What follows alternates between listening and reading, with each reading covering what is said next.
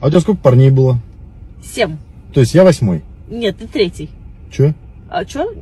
Сколько было об этом, история умалчивает. Там как бы нигде счетчика нет. А, По одной статистике то ли 70, то ли 170 половых партнеров в год у среднестатистической леди в крупном городе миллионники. Ну, не знаю уж, насколько это правда.